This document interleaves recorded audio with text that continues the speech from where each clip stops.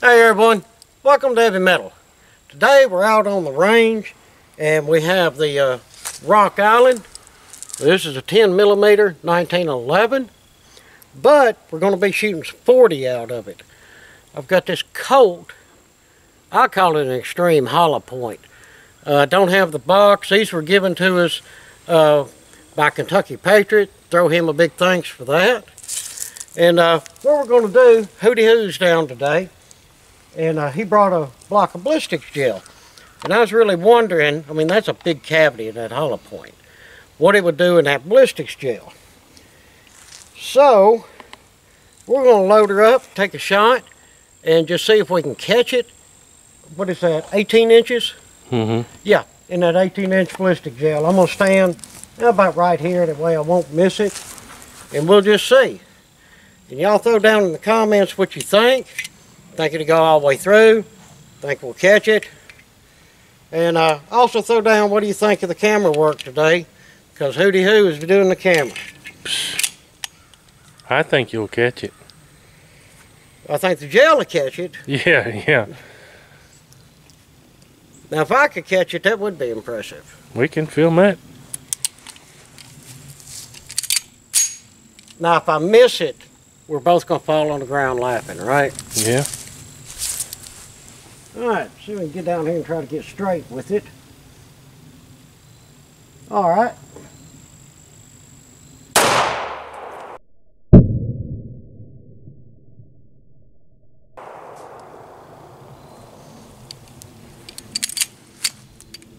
Well, it didn't hold open on that 40. Well, that was odd. Alright, we are clear. Let's go up here and see what we got. Alright guys, walking up to it. Yeah, God, that did make a big old hole, didn't it, man? Know, that thing's no joke. Can't really see. Like Hootie Hoo said, this gel has been melted down a hundred times. Is that it right there? Might be. But it did not go off the back? I don't mm. think. No, sir. There's only two holes in the back. Those earlier shots that he done.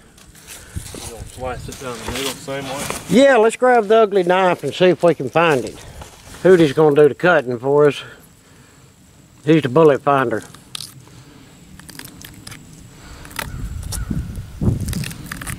Surely it went at least halfway. I would think so.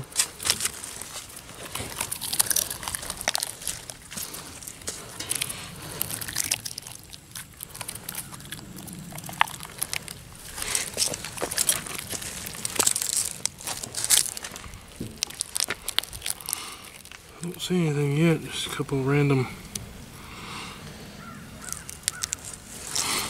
Maybe it did come out the back. But it already had two holes in the back, so.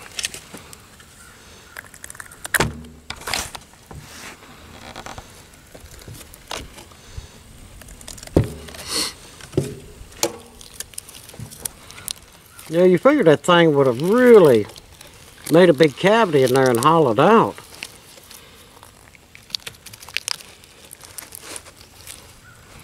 Hmm. Do not see a bullet. But, but you can see the path right there.